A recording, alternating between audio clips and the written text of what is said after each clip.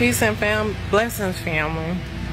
I don't normally come on TikTok more than once in a day, but I am trying my best to be more consistent. I'm trying to get the good lighting. I'm trying to be more consistent because I know that there's someone on my friends list that is actually not leaning onto their own understanding and guarding their heart against things that is not good unsavory, not pure, and they're reaching and seeking. And the word does say, if you seek, you shall find. Knock, and it shall be open unto you.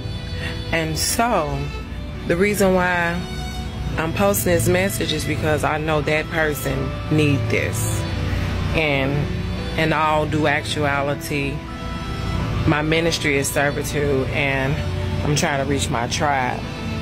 And until I reach my my tribe, I'm gonna keep on posting, keep on believing, keep on encouraging, and keep on uplifting because I know it's difficult and nobody's perfect.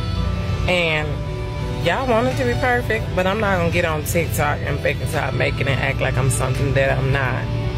There's nothing perfect about me. And there's nothing perfect about you. But the message I'm trying to give to you is, sis, you're good enough. King, you're good enough.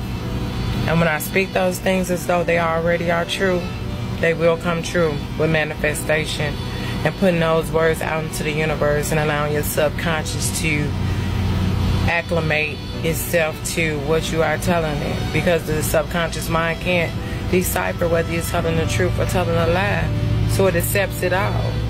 And I'm telling you you're good enough because there's many days I don't feel like I'm good enough.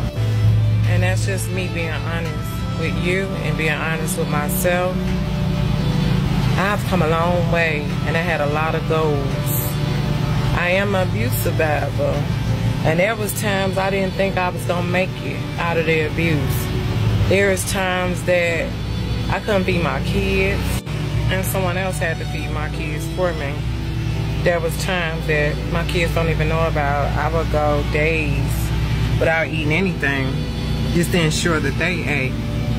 Surviving abuse, there's nothing easy about it. Yeah, I wrote a book about my life, but I said I was gonna write a book in fifth grade. I manifested that thing. You gotta know anything you put your mind to, you can do it. And you're good enough. I'm here for comments and questions.